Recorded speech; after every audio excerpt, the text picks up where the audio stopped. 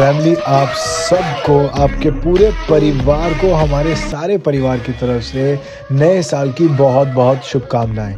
ये नया साल आपके लिए इतनी खुशियाँ लेकर आए, इतनी खुशियाँ लेकर आए जितनी आपने कभी सोची भी ना होंगी। लेकिन हाँ एक चीज़ याद रखना, बड़ों का हमेशा रिगार्ड करना और छोटों को हमेशा प्यार देना। बाकी अगर छोटे ज़्यादा बोले तो फिर एक लगा भी देना। Wishing you a very happy new year as such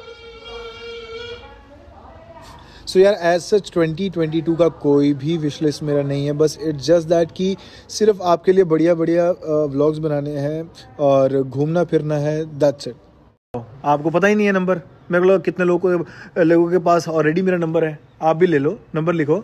Nine nine eight seven two one nine eight seven two one उसके आगे बम डिगी डिगी बम नेक्स्ट व्लॉग इतना खतरनाक है, इतना खतरनाक है। मतलब हम कैसे भुगते हैं उस पूरे चैलेंज को? यू हैव नो आइडिया जो सोचा था और क्या हुआ just wait for it actually सबसे बड़ी प्रॉब्लम यही हुई कि जब संजय की तबीयत खराब हुई तो उस टाइम पे हमें बनाना था रिवाइन 2021 ऑफ़ री व्लॉग्स लेकिन उसकी तबीयत की वजह से हम नहीं बना पाए so we have to go to another challenge to do it but अगर आप चाहते हैं कि आए तो आप प्लीज़ एक बार uh,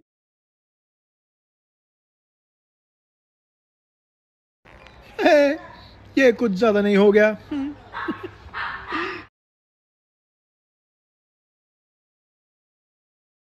यार थोड़ी बर्फ़ पड़ने तो दो यार। बर्फ़ पड़ नहीं रही है जहाँ आँखों में धूप पड़ रही है। लेकिन जहाँ जहाँ हम चाहते बर्फ़ पड़े वहाँ भी पड़ी नहीं है। जैसे ही बर्फ़ पड़ेगी तो part two is on the way well देखो मैं हमेशा एक ही रेजोल्यूशन पे रहता हूँ लाइफ में and that is nine twenty into one zero eight zero और अब अगर करना हो क्योंकि रील्स आ रही हैं तो nine ratio sixteen that's it ये जोक बहुत ही डीप था जिसको समझ में आया। नीचे इमोजी